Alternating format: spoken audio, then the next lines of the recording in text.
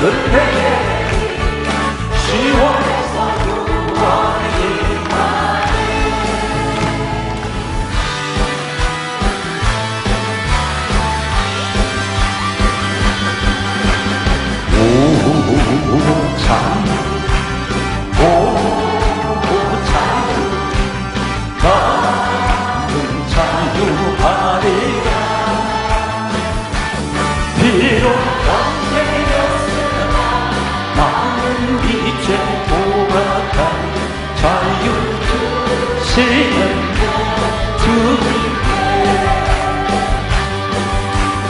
슬픔 없네 슬픔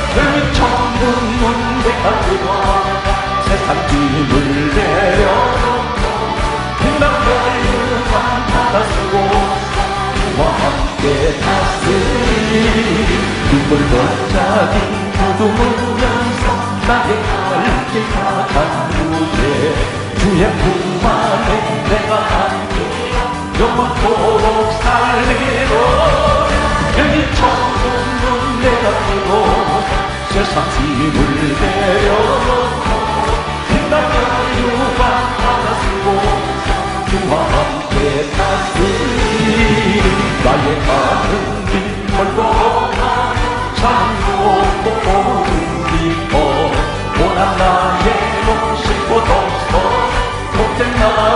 밝아오 열린 천국 문대가 들어 세상 짐을 내려놓고 빛나는 유방 받아주고 주와 함께 다스리 한숨 마시고 죽음 없는 사모가 기다리니 내가 그리는 줄을 빼고 나의 넘치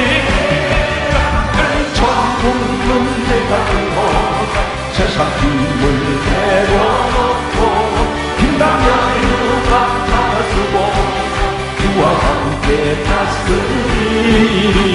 격창 넘는 내 사랑. 부르다 불러. 우리 바다를 합시다. 주님을 때까지 예수는 깨끗게 하시는 주시니 그 옆에 금보하고 있게 하셨 우리를 깨끗게 함기는 무궁한 생명의 있어 생명을 구원한 친구들. 하나님 찬양을 하시고 예수는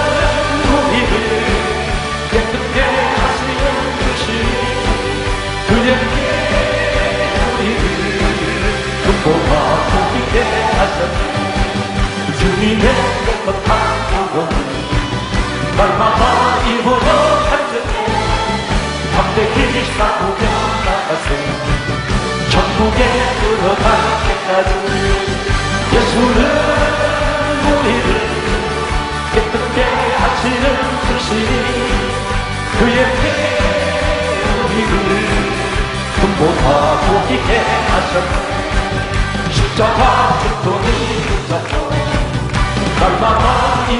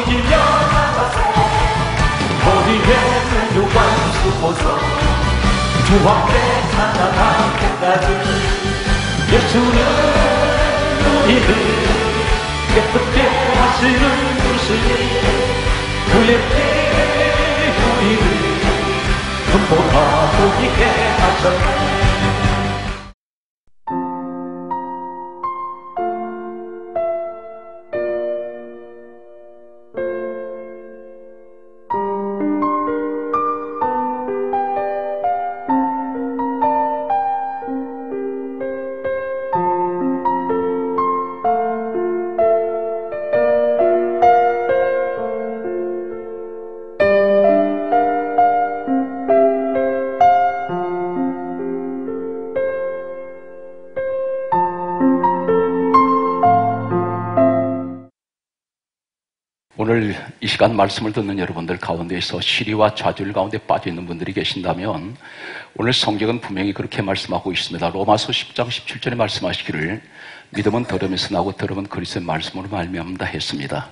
이 말씀을 믿는 것이 믿음인데 이 말씀을 믿고 구하는 것은 받은 줄로 믿으라 했습니다. 이 말씀을 듣고 믿으십시오.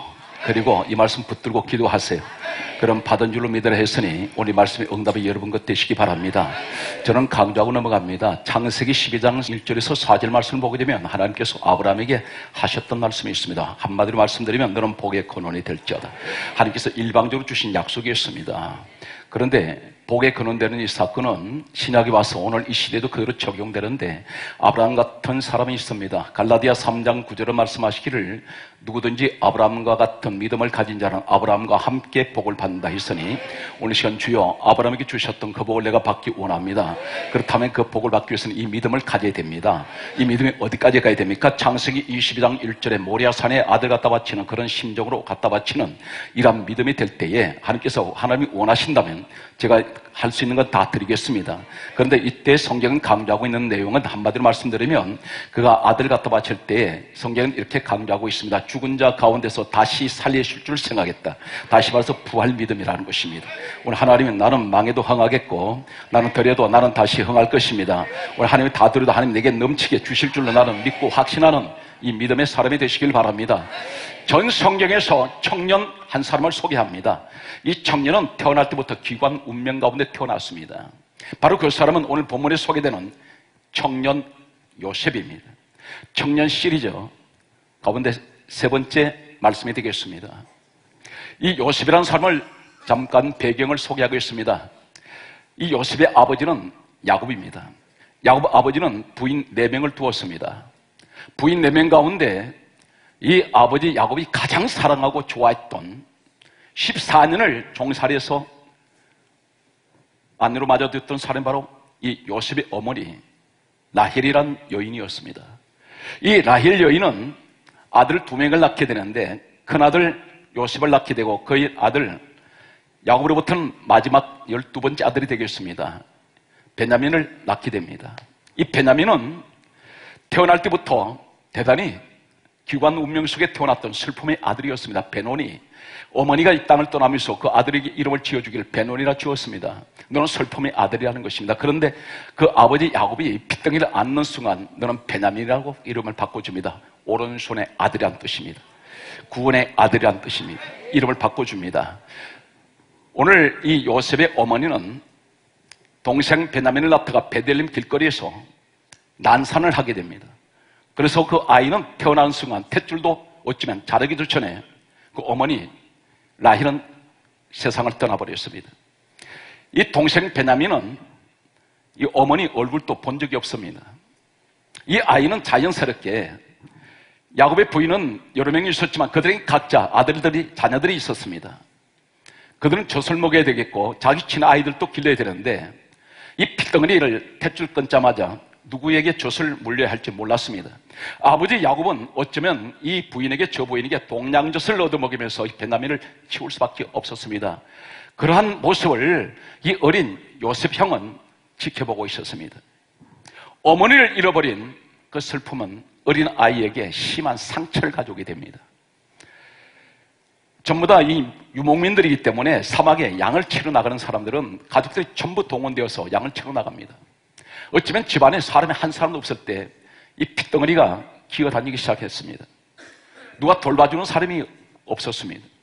이 베냐민은 혼자서 기어다니다 어쩌면 손에 집힌 대로 아무것이나 주워 먹고 그리고 혼자 쓰러져 자고 이렇게 천덕꾸리 같이 이런 생활을 했는지 모릅니다. 요셉의 마음속에는 유일한 친혈육이라고는 이 베냐민 동생 하나밖에 없습니다. 그에게는 친 형제가 아닌 배다른 형제가 10명이 있었습니다. 그들은 전부 난폭했습니다. 잔인한 그런 형들이었습니다. 이 두 형제는 항상 소외되고 고독하게 사람들 눈밖에 난 눈치밥을 먹고 살았는지 모릅니다. 이러한 어느 날, 이 요셉이 아버지 심부름을 하기 위해서 형들이 양을 치는 곳으로 심부름을 가게 됩니다. 평소에 이 요셉을 미워했던 이 형들은 이 요셉을 보자마자 붙잡아서 구덩이에 던져버렸습니다. 구덩이에 던졌더니 그 빈 구덩이에서 아이가 죽지 않았습니다. 다시 끌어내서 노예 상인들에게 이 아이를 팔아버렸습니다. 졸지에 요셉은 노예가 되어서 은 20에 팔려나갔습니다. 집에 두고 있는 이 동생 베냐민을 만나볼 수도 없습니다. 갑자기 생이별을 하게 되었습니다. 어쩌면 그는 울면서 이 베냐민 이름을 부르면서 그런 보고 싶은 동생을 보지 못하고 수말리 낯선 곳으로 그는 끌려갔습니다. 그 당시에 노예 제도는 돈을 주고 사게 되면 상품 가치가 됩니다. 돈 주고 산 사람은 사람은 사람인데 생명을 죽일 수 있고 살릴 수 있는 것은 돈을 주고 산 사람에게 달려 있습니다. 이 요셉은 풍전 동화 같은 파리 목숨인지 모릅니다. 그는 애굽으로 팔려갔습니다. 애굽으로 팔려간 그는 그 당시 애굽의 왕이라는 사람이 바로 왕이었는데 이 바로 왕의 경호 대장인 보디바리라는 사람 집에 들어가게 되었습니다. 이곳에 그는 노예 생활로 이제 그는 애굽의 생활이 시작됩니다. 이러한 그에게 이 사람은 애굽으로 오기 전에 고향 땅에 있을 때 17살 나이에 그럼 팔려왔습니다. 고향 땅에 있을 때 그는 꿈을 꾸게 됩니다. 이 꿈은 하나님이 주셨던 꿈입니다. 오늘 그 꿈이 바로 오늘 성경에 소개되고 있는 창세기 37장 6절에 소개되고 있는 첫 번째 꾸었던 꿈이 바로 곡식단들이 자신에게 둘러서서 절하는 꿈이었습니다. 두 번째 꾼 꿈이 해와 달과 별이 자신에게 절하는 꿈이었습니다. 이 꿈을 자신은 꿈을 꾸고 난 뒤에 아버지에게 이야기를 했습니다. 이야기를 했더니 바로 창세기 37장 10절에 아버지 야곱이 아들의 꿈 이야기를 듣고 하는 말이 나와 내 모친이 너 형제들이 너한테 엎드려 주라라는 얘기냐? 그러면서 대단히 성에 꾸짖었다고 말하고 있습니다. 야단을 치게 됩니다. 아버지가 그렇게 사랑해서 채식옷도 지어 입혔던 유일한 아들이었지만 이 아들은 해와 달과 별이 절하고 곡식단들이 이 아들에게 절한다는 것은 상상할 수가 없었습니다. 양을 치는 목동 집안에서 어떻게 해서 해와 달과 별이 나한테 절하며 곡식단들이 나한테 절하는 한마디로 네가 왕이 될 수 있겠느냐? 네가 무슨 통치자가 되겠느냐? 이것은 이 요셉의 아버지 머릿속에는 상상할 수가 없었습니다. 그래서 심하게 꾸짖었습니다. 아버지가 인정하지 않았습니다. 형제들도 이 요셉은 무시해서 구덩이에 던져버렸던 그런 헌시짝처럼 짐승 취급했던 형제들이었습니다. 이 사람은 가족들에게 엄청난 상처를 가지고 있습니다. 자신을 죽이려고 하는 형제들, 아버지조차도 꿈을 꾸었는데도 이 얘기에도 믿지 않는, 그리고 인정하지 않는 아버지, 이라는 것에서 그런 노예로 팔려왔지만, 그러나 이 사람 평생에 이 하나님이 주셨던 꿈을 버리지 않습니다. 어떤 역정 속에서도 꿈을 가지고 있습니다. 오늘 저는 이렇게 강조합니다. 대한민국에 시리와 좌절에 빠지는 청년들이 있다면 오늘 요셉에게 주셨던 이 꿈이 우리 대한민국 모든 청년들에게 주시기를 저는 간절하게 간구합니다. 오늘 이 꿈을 가져야 됩니다. 주여 이 민족의 모든 청년들이 하나님이 해와 아들과 별이 절하며 곡식단들이 절하는 이 꿈의 비전을 우리 청년들에게 주시옵소서 오늘 하나님이 한국교회에 이 꿈이 필요합니다. 이 꿈을 우리에게 주셔서 하나님이 이 민족에게 이 꿈이 필요합니다. 전 세계에 해와 달과 별이 절하는 곡식단들이 절하는 요셉의 꿈이 우리에게 있기를 원합니다. 어제 이어서 오늘의 일간 신문을 보게 되면 조성진이라는 21세 된 청년 한 사람이 특집 기사로 보도가 되었습니다.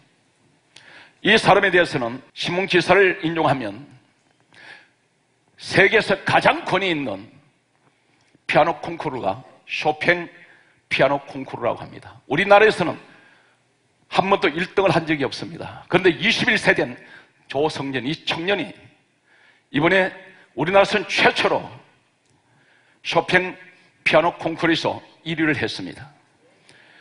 그 신문 기사 가운데서 가장 제가 감동을 받았던 것은 어린 나이 11살 때에 이 소년 이 꿈을 가지고 있었다 했습니다. 10년 만에 그 꿈은 이루어졌습니다. 아무도 하지 못하는 그 꿈을 이 청년은 이루었습니다. 오늘 저는 우리에게 말씀하고 있습니다. 어떤 고난이 있어도 어떤 환란이 와도 하나님 우리에게 이 꿈을 되게 가지길 원합니다. 꿈이 없는 민족은 망한다고 했습니다. 내게 꿈이 있어야 됩니다. 환경이 힘들고 어렵고 자존한다 할지라도 그 꿈을 저버리면 안 됩니다. 내가 가진 그 꿈이 있다면 반드시 그 꿈을 성취를 위해서 오늘 요셉처럼 노예로 팔려간 이 처절한 환경 속에서도 요셉은 이 꿈을 버리지 않습니다. 주여 우리에게 이 꿈이 있기를 간절히 소망합니다. 첫 번째 그에게는 꿈이 있는 청년이었고 두 번째는 이 사람은 성경은 이렇게 말씀하고 있습니다. 창세기 41장 38절 말씀 보게 되면 성경은 강자기를 요셉은 하나님의 신에 감동하였더라. 이렇게 말씀하고 있습니다. 하나님의 신 감동받은 사람이 누굽니까? 하나님의 신은 성령을 말씀하고 있습니다. 이 요셉에게 성령이 함께 하셨습니다. 고난 가운데 있는 청년 요셉에게 함께 했습니다. 오늘 우리에게 말씀하고 있습니다. 예수님께서 이 땅에서 33세를 일기로 이 땅을 이제 고난을 십자가에서 고난당하시고 이 땅을 떠나시기 전에 십자가에서 고난당하신 후 부활하셨습니다. 그리고 제자들은 뿔뿔이 다 도망가 버렸습니다. 도망가 버린 제자들에게 주님은 단 한마디로도 야단칠 수가 있습니다. 그런데 그들이 모여있는 곳에 부활하신 주님이 찾아오셨습니다. 찾아오셔서 도망간 그들을 한마디도 책망하지 않습니다. 나무나지 않습니다. 지적하지 않습니다. 하시는 말씀이 성경 요한복음 20장 22절은 다음같이 말씀하고 있습니다. 숨을 내쉬며 가라사대 숨을 내쉬며 가라사대 성령을 받으라. 오늘 성령을 받으라고 말씀합니다. 요셉은 하나님 신의 감동한 성령의 사람이었습니다. 예수님께서 이 땅을 떠나시기 전에 반드시 그들에게 하시는 말씀은 성령을 받으라고 말씀하셨는데 성경은 우리에게 계속해서 이렇게 말씀합니다. 이 세상에서 지금 이 시대가 얼마나 우울하고 보이는 것마다 좌절하고 낙심할 것밖에 보이지 않습니다.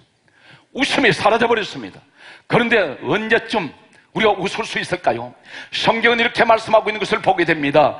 누가복음 10장 21절에 말씀하시기를 예수님이 성령으로 기뻐하사 오늘 우리가 성령이 함께하면 기뻐할 수가 있습니다. 환경을 바라보면 기뻐할 일이 없지만 성령이 함께하는 사람은 날마다 기쁩니다. 날마다 즐겁습니다. 감사가 나옵니다. 오늘 사랑하는 성도 여러분, 성령이 함께하는 여러분 되시길 바랍니다. 성령의 가장 강력한 능력이 무엇일까요? 로마서 15장 13절은 이렇게 말씀합니다. 성령의 능력으로, 성령의 능력으로 소망이 넘치게 하신다 있습니다. 소망이 보통 소망이 아니라 소망이 넘칩니다. 언제 그렇습니까? 성령의 능력이 나와 함께하면 환경이 힘들고 어려워도 오늘 노예 같은 요셉의 생활도 반드시 성령의 능력으로 소망이 넘칩니다.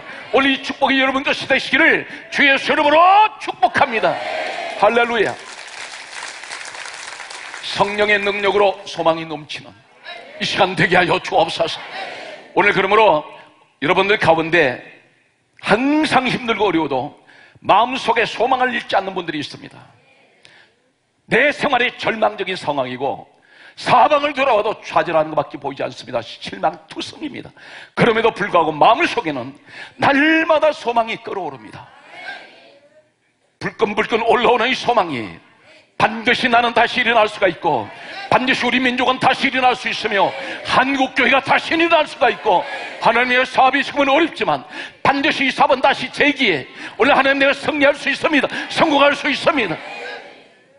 내 가정도 다시 일어날 수가 있습니다. 오늘 이 소망이 왜 어디서 옵니까? 바로 그 사람이 성령의 능력이 함께하는 사람이라는 사실입니다. 성령이 함께 하시면 반드시 소망이 넘칩니다 성경 말씀 보게 되면 그러므로 우리에게 이렇게 말씀합니다. 갈라디아 5장 16절에 너희는 성령을 쫓아 행하라. 반드시 성령을 따라가라는 것입니다. 우리는 기도해야 됩니다.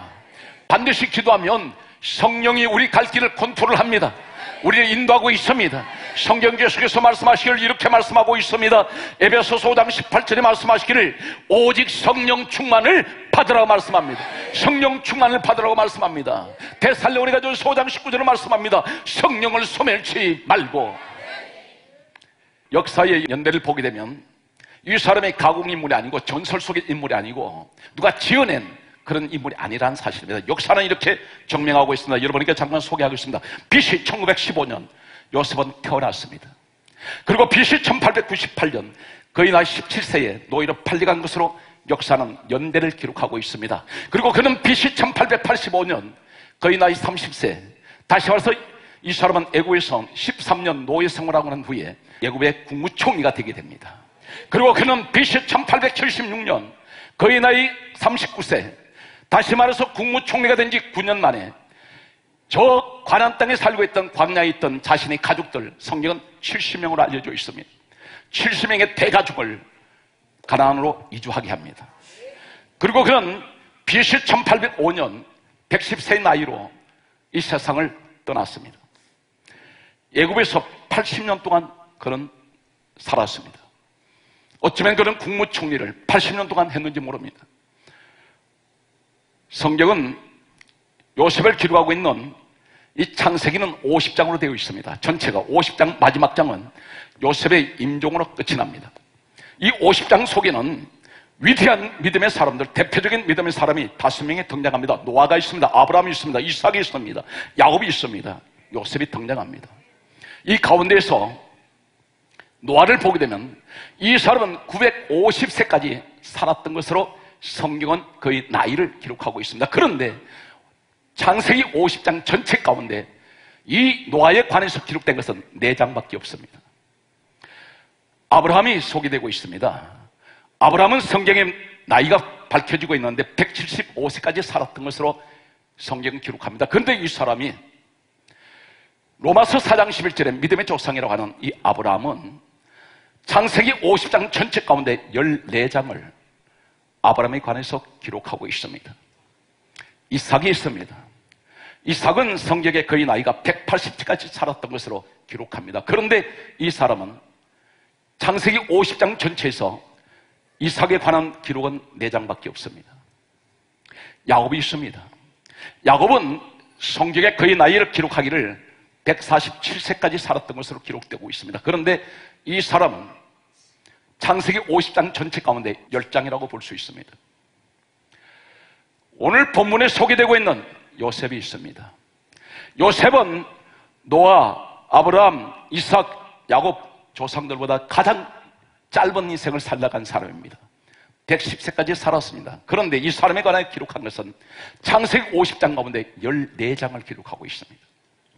가장 많은 분량이라고 할 수가 있습니다. 가장 오래 살았던 노아와 이삭은 전 성경 창세기 50장 가운데 4장씩밖에 없는데 짧은 인생을 살았던 요셉은 14장을 기록하고 있는 이유가 무엇일까요? 하나님께서는 이 고난의 사람, 이 요셉을 하시고 싶은 말씀이 많다는 사실입니다. 이것이 바로 간증입니다. 여러분 간증 간증 하는데 여러분 간증이 도대체 무엇인지 아십니까? 때로는 우리가 간증이란 그런 이야기를 많이 듣습니다. 그런데 대개가 한 시간 동안 간증하는 시간 동안에 예수를 만나기 전에 자신이 화려하게 살았던 이런 이야기만 잔뜩 늘어놓습니다. 이건 간증이 아닙니다. 진정한 간증이 무엇인지 아세요? 내가 예수를 만나고 나는 어떻게 변화되었으며 현재 나는 어떻게 살아가고 있는지 이것이 바로 간증입니다. 예수 안에서 내가 어떻게 변화되었는지 예수 밖에 살 때는 하나님 관심 없습니다. 예수 안에서 우리는 예수 안에서 이야기해야 됩니다. 성경은 또 다음같이 이렇게 말씀하는 것을 보게 됩니다. 이 사람은 세 번째는 첫 번째는 꿈을 가진 청년, 두 번째는 성령이 함께하는 청년 요셉, 세 번째는 어떤 사람일까요? 성경 말씀 을 보게 되면 창세기 39장 9절 말씀 을 보게 되면 이 사람은 오로지 하나님만 의지하는 사람입니다. 그 힘든 상황에서 그가 의지하고 바라보는 분은 오직 하나님 한 분밖에 없습니다. 이 사람은 노예로 왔습니다. 이 보디발 집에 왔는데 그 당시 애굽의 이 보디발이라는 사람은 왕의 경호대장이기 때문에 가장 왕 곁에 있는 측근 중에 측근입니다. 신변을 보호하는 사람입니다. 가장 왕이 신임하는 신복입니다. 충복이라고 할 수 있습니다. 그런데 이 집에 막강한 권력을 가진 이 집에 들어왔는데 창세기 39장 9절 말씀을 보게 되면 이 보디발의 아내가 성경 강조하고 있습니다. 날마다 요셉을 유혹을 합니다. 그 유혹하는 것이 뭐냐면 동침하기를 원했습니다. 그런데 이 요셉이 이렇게 말합니다. 내가 어떻게 하나님 앞에서 덕죄할 수 있겠습니까? 이 말이 무슨 말입니까? 하나님이 보고 계시는데 내가 어떻게 죄를 지을 수 있습니까? 이 이야기를 합니다. 이 말이 무슨 말인지 아십니까? 다른 일반 사람 같았으면 아마 이 유혹을 그대로 받아들였을지 모릅니다. 왜 그러냐면 우리가 세상적인 생각, 계산을 한다면 이 부인에게 잘만 보인다면 이 부인의 요구를 들어준다면 돈으로 자신은 팔려온 사람이기 때문에 풀어줄 수 있습니다. 노예가 자유자가 될 수 있습니다. 고향으로 돌아갈 수 있습니다. 그리고 어쩌면 고향으로 돌아가지 않아도 이 사람은 이 애굽 땅에서 이 보디발 왕의 제2인자로 갈 수 있는 그 남편의 부인이기 때문에 이 사람 출세할 수 있습니다. 관직을 가질 수도 있습니다. 그런데 요셉이 왜그 생각을 안 했겠습니까? 그런데 그 얘기는 내가 어떤 불이익을 당해도 내게는 하나님이 계시기 때문에 세상의 어떤 유혹도 나를 유혹할 수 없다는 절대적인 믿음을 가지고 있었습니다. 이 사람은 결국 이 일로 인해서 모함을 받아서 감옥으로 들어갑니다. 감옥으로 들어갈 때 이 사람은 노예로 팔려와서 처음에는 구덩이에 던져뒀다가 노예로 팔려왔다가 거기서 모함받아서 또 감옥으로 또 들어갑니다. 이 사람은 아마 종신형을 받았는지도 모릅니다. 못 나옵니다. 어느 한 사람 노예 이 사람을 기억해주는 사람은 없습니다. 그런데 성경 말씀을 보게 되면 이곳에 들어간 이 자리가 가장 그 당시 이 애굽의 감옥이 가장 참혹한 감옥이었다면 지하 감옥이었습니다. 지상에 있는 감옥이 있고 지하 감옥이 있는데 고대 역사를 보면 그 고대 문헌에는 요셉이 들어갔던 곳은 지하 감옥이었습니다. 지하 감옥이 어떻게 생기냐면 맨홀같이 구멍이 맨홀 같은 구멍이 있습니다. 여기 한번 집어넣으면 햇빛이 들어오지 않습니다. 여기서 먹을 것을 집어 던져주면 주워 먹어야 합니다. 안에서 지키는 간수도 그렇게 없습니다. 나올 수가 없습니다. 일한 곳이었다면 이곳에 있는 이 요셉의 상황은 어떻겠습니까? 절망해 버렸습니다. 나는 결국 형제들에게 미움받아서 노예로 팔려와서 이곳에서 내가 또 하나님 바라보다가 나는 또 억울한 일 당해서 여기 감옥까지 들어왔다 생각할 때 난 여기서 죽는구나. 이런 생각을 할 수가 있습니다. 그런데, 그런데 말입니다. 바로 그 자리가 바로 축복의 통로였습니다. 그것에 도력함으로 인해서 이 사람 국무총리가 될 수 있는 그 길을 가게 됩니다. 여기에 어느 날 술 맡은 관원장, 떡 굽는 관원장이 들어왔습니다. 이 관원장이란 말은 지금으로 말하면 일국의 장관들입니다. 왕의 음식상에 올라가는 음료를 담당하는 술 맡은 관원장. 그 당시 왕을 독살할 때는 주로 음식물을 통해서 독살이었습니다. 독약을 넣었습니다. 이 술 맡은 관원장은 왕이 진수성찬에 올라가는 모든 술, 그리고 모든 음료수, 이것을 전부 다 독약이 들었는지 아니면 해로운 것이 있는지를 먼저 시험을 해봅니다. 그리고 이것을 관리하는 사람이었습니다. 떡 굽는 관원장은 왕의 진수성찬을 만드는 모든 음식을 관리하는 사람이었습니다. 장관급들입니다. 이 사람들은 애국 본토 사람들입니다. 그런데 그들이 어떤 죄로 인해서인지 들어왔습니다. 그런데 꿈을 꿉니다.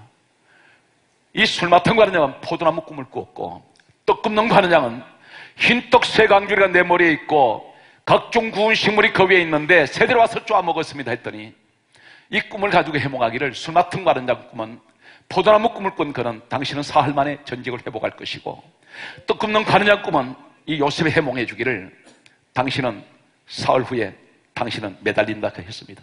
한 사람은 생명으로 한 사람은 상망으로 이 꿈을 해몽해 주었습니다. 이 요셉의 꿈 해몽 그대로 술마탄 관원장은 살아났습니다. 그로부터 2년 세월이 흘렀습니다. 요셉은 감옥에서 2년 세월을 보냈습니다. 지나긴 세월이었는지 모릅니다. 고통의 시간들이었습니다. 그런데 어느 날 이 애굽의 바로왕이 꿈을 꿉니다. 자신이 꿈을 꾸고도 해몽할 수가 없었습니다. 아무리 꿈 해석을 잘하는 사람 불러다가 물어봐도 아무도 해석을 못했습니다. 하나님 역사였습니다. 그래서 고민하고 있는데 술 맡은 관장이 이렇게 말하고 있습니다. 제가 2년 전에 제가 감옥에 들어갔을 때에 히브리 사람을 한 사람 만났습니다. 그 사람의 꿈을 해몽해 주어서 제가 살아났습니다. 이 말을 듣는 순간 바로왕이 그를 데려오라 했습니다. 2년 만에 이 사람은 감옥에서 나오게 됩니다. 그리고 그 위대한 애굽에서 가장 위대하다고 하는 바로왕 앞에 섰습니다. 노예가 섰습니다. 이때 바로왕이 하는 말이 내가 꿈꿈을 해석을 하라 했습니다. 요셉이 정확하게 하나님의 신에 감동된 그가 정확한 꿈 해석을 해 주었습니다. 이때 이 바로왕 입에서 터져 나오는 말이 하는 말이 이렇게 말합니다. 이 사람은 하나님의 신에 감동한 사람이구나. 여기서 이 사람은 일야 국무총리가 됩니다. 오늘 저는 여기서 한 가지 여러분에게 분명한 사실을 소개합니다. 그 자리가 지금 여러분이 있는 이 자리가 고통의 자리입니까? 고난의 자리입니까? 절망의 자리입니까? 아니면 모함을 받았습니까? 아니면 억울한 일을 당해서 내가 밑바닥에 주저앉았다고 생각하십니까? 무엇이 실패했습니까? 그러나 한 가지 기억하세요. 반드시 내가 하나님만 바라고 보고 있는 믿음이라면 당신의 처한 그 고난의 자리는 분명 축복의 통로라는 사실입니다. 왜 그렇습니까? 요셉이 감옥에 들어갔을 때 모함 받았습니다. 억울한 일 당했습니다. 살아나리라고는 생각 못했습니다. 그런데 거기 들어갔기 때문에 이 요셉은 그 자리에 하나님께서 사람을 보내셨고 이 사람들 만남을 해서 그런 축복의 통로가 되어서 국무총리가 되었습니다. 오늘 믿음의 사람은 이 믿음을 가지셔야 됩니다. 절망할 이유가 없습니다. 하나님 밑바닥 인생이 내가 실패했습니다. 좌절합니다. 그러나 하나님 말씀합니다. 그 자리가 축복의 통로며 그 자리가 이제 내가 축복받을 자리로 옮기가는 자리다. 이 사실 믿는 여러분께 축복이 함께 하시기 바랍니다. 성경은 다음같이 말씀하고 있는 것을 보게 됩니다. 창세기 45장 8절을 보게 되면 이 요셉이 얼마나 긍정적인 사람인지를 한마디로 단적으로 소개하는 내용이 나옵니다. 강조하고 넘어가고 있습니다. 창세기 45장 8절은 이렇게 말씀하고 있습니다. 나중에 형제들이 왔습니다. 이 사람 구덩이에 던졌고 노예 팔아버렸던 그 형제들입니다. 국무총리가 된 요셉 앞에 그들은 오금을 서지 못합니다. 오금이 저리 옵니다. 왜 그렇습니까? 자신들이 저지른 행위 때문에 이 요셉이 죽일 줄 알았습니다. 그런데 요셉이 하는 말이 뭐라 그런지 아십니까? 나를 이리로 보낸 자는 당신들이 아니요. 하나님이 나를 보냈습니다. 무슨 얘기인지 아십니까? 당신들이 나를 노예로 팔았는데 그 배후에 하나님께서 하신 일입니다. 오늘 나를 이제 보냈기 때문에 당신을 이- 이쪽으로 보냈기 때문에 내가 국무총리가 될 수 있도록 하나님이 그렇게 만드신 겁니다. 이 사람은 그 사람을 원망하지 않습니다. 한 가지 여기서 중요한 것은 요셉은 어떤 상황에서도 절대 열등의식 갖지 않습니다. 힘 있는 사람 앞에서 굽신거리지 않습니다. 당당합니다. 성령의 사람은 요셉 같은 사람이 되어야 됩니다. 특별히 청년들이요. 요셉 같은 이런 사람이 되십시오. 환경에 기죽지 말고 좌절하지 말고 당당하시기 바랍니다. 앞으로 얼마든지 꿈을 가진 사람, 성령이 함께하는 청년, 그리고 하나님만 바라보는 이러한 믿음의 청년은 반드시 요셉같이 될 수가 있습니다. 성경은 무엇을 말씀합니까? 창세기 40장 7절에 보게 되면 이 요셉이 자신이 지하 감옥에 있을 때에 술 맡은 관원장, 떡 굽는 관원장들이 이 장관급들이 들어왔을 때 그들은 애굽 본토 사람이며 그들은 잠시 전까지만 해도 권력을 휘두르던 사람입니다. 그 주변에 동료 권력가들이 많았을 것입니다. 그런데 자신이 자신이 누구에게 위로합니까? 그런데 창세기 4장 7절에는 이 요셉이 자신의 처지는 돌아보지 않고 기가 죽지 않습니다. 열등의식 갖지 않습니다. 내가 저 사람한테 가서 무슨 내가 위로하겠느냐 하는데 이 요셉이 먼저 찾아가요. 힘 있는 자에게. 찾아가서 하는 말이 이렇게 말합니다. 어찌하여 당신들 얼굴에 근심빛이 있습니까? 이 말이 무슨 말인지 아십니까? 권력가요, 죄력가요, 본토인들인데 이 사람은 노예로 팔려온 사람이야 모함받아 죄수가 되었는데 이 사람은 종신형을 살고 있는지도 모르는데 자신은 빠져나갈 생각도 못하는데 이 사람이 오히려 가장 힘없는 자가 힘 있는 자에 가서 어떻게 얼굴이 그렇게 근심빛이 있습니까? 위로하고 있습니다.